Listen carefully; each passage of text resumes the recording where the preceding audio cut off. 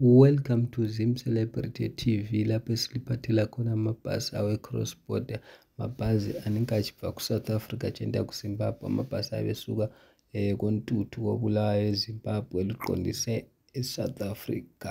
lo ngumzansi express ibhasi ehamba ngesikhathi mali bafunayo bathola kufacebook labathola kutiktok you won't go wrong with these buses amabhasi maningi lawa there are virally varieties of these buses njengamanje you can be surprised nxa usiyafika ebhodi uthole kulamabhasi ayi-five six kuyabonisa ukuthi ibhasi umsebenzi yawenza leyo umzansi leyo waqalisela kobulawa kontuthu komfazi ushaya indoda indaba yokuthi ku-popular demand bakhala abantu kubo-chipinge kuphi kuphi endaweni ezihlukeneyo manje umzansi usele amabhasi amaningi ebhode usungalahleka uma ungaphuma ukuthi uye etoilet ungasazi ukuthi ibhasi oyigibeleyo yiphi uthatha i-number plate so guys